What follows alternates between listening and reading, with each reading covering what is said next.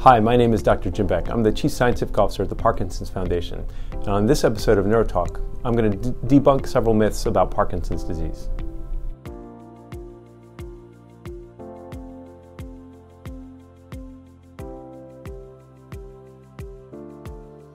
Myth 1 Parkinson's disease is only a movement disorder.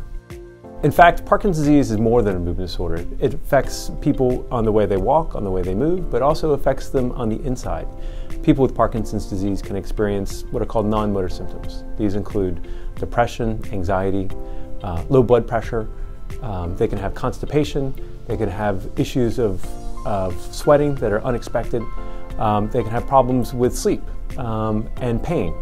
These are all issues of people with Parkinson's disease can experience that are not the movement side of Parkinson's disease. The myth, if someone with Parkinson's disease looks good, then they must feel good. The problem with Parkinson's disease is just because someone's motor symptoms are well controlled doesn't mean that they're actually feeling good on the inside.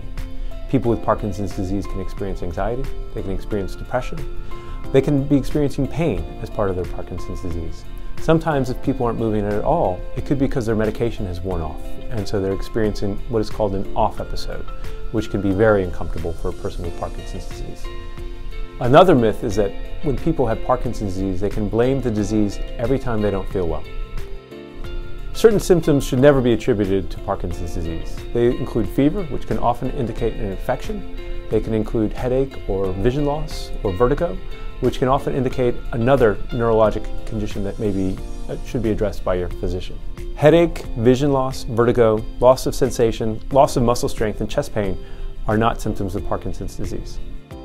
Another myth is that Parkinson's disease has flare ups. Parkinson's disease is a slowly progressing uh, disease. If there's a sudden change in how someone feels or how they act, it may be due to another cause often uh, can be an infection, such as urinary tract infection. If symptoms worsen over the course of days or weeks, then it is critical to search for an underlying cause like changes in your medication, infection, dehydration, sleep deprivation, or other medical problems that can worsen Parkinson's disease. Another myth is that your doctor can predict your disease progression. Parkinson's disease is highly variable from person to person, and even an expert in Parkinson's disease cannot predict what the future holds for you.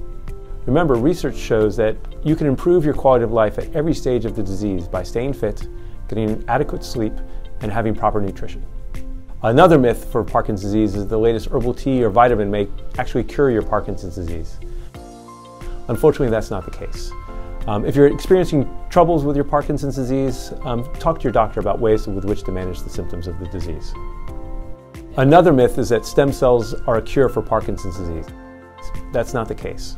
Currently, there's no approved stem cell therapy for Parkinson's disease, and when and if that happens, at best, uh, stem cells will provide symptomatic relief for Parkinson's disease and not a way to slow the disease or, or cure it. Go to our website, parkinson.org, to learn more about Parkinson's disease.